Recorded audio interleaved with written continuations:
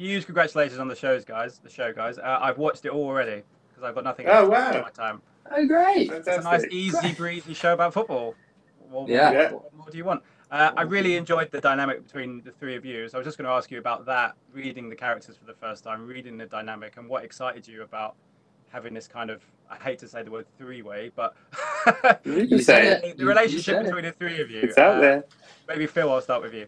I think as we see going forward, there is the sort of the ego tussle between two, uh, like the old guard and the the sort of um, chirpy, uh, newer uh, startup, upstart, one of the two.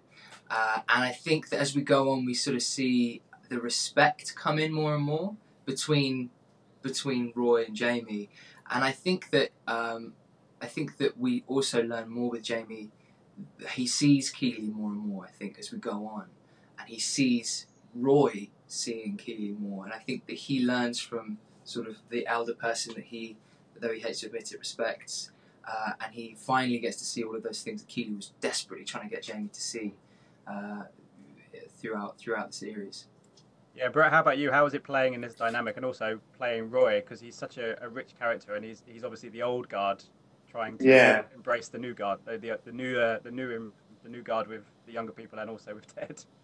Yeah, yeah, I loved I loved playing Roy. Actually, it was one of my favourite jobs, and and part of it, part of it with Phil and Juno is I, I think it's well, a truthfully, I l- loved them both in real life, so that was easy and fun. But it was also, I think that the thing with Phil with his character is Roy probably was a bit like that when he was starting out, so he eventually sort of has to see I was that idiot and uh, so I, you have to be sort of patient with someone growing, and also I think what happens with with Juno with Keely is, I think that Roy up to that point has just had a series of terrible uh, relationships with women who were with him for entirely the wrong reason, and I think he sees Juno for the first time as like, oh shit, I've just sworn, I'm sorry for that.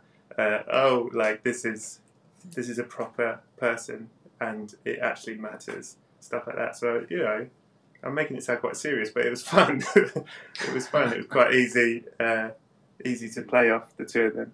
Yeah. And Juno, how was it being in the middle of these two, but also playing Keely? Because she's a real. It's hard not to like her because she's a real firecracker. Oh, I like that. Thank you. Um, I mean, come on, what a dream to get to act with these two. And it was cool. I hadn't seen. Um, Jason suggested watching that film Bull Durham before I uh, started shooting, and I loved.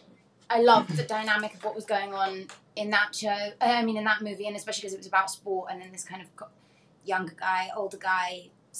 Anyway, I just thought it was so great, and then getting to play Keely, who is, I think, very much a character that you could judge the book by its cover, but you really shouldn't because there's a lot more going on with her, and um, and getting to play with these two men that are going on different journeys at different points in their life, but coming from the same source, and getting to kind of be a part of both of their journeys and helping, hopefully helping both of them in their in their in the in a way that's necessary, but also learning more about herself through both of them too. And I think it's like it was such a great acting dynamic and off camera dynamic with these two. And it was like and you know, setting it up for where you want to keep keep the journey going with these three characters because it's almost never ending. You know, they could be this kind of awesome family that keeps kind of going for eternity. Um, but it was yeah, it was really fun, and it was really fun to play a woman that you know does speak her truth and sa- you know is um like you said a firecracker. I think that's also yeah, she's not afraid of the men she's hanging out with. She's actually really good at challenging them, and I think both of these men end up really respecting that and actually needing that from her. You know, which I think is a really cool thing too. Absolutely. Well, my time is up. Alas, I wish I Ah, could do more. Scott. But uh, thank you so much for your time, guys, and good luck with the show. Really Thanks. Scott. Thank you very much, man. Yes. Nice to meet you. Ladies and gentlemen, you're watching Hey You Guys! Hey, you guys, huh? you guys. Is that from the Goonies? It is indeed, yeah. Nice. Hey, you guys!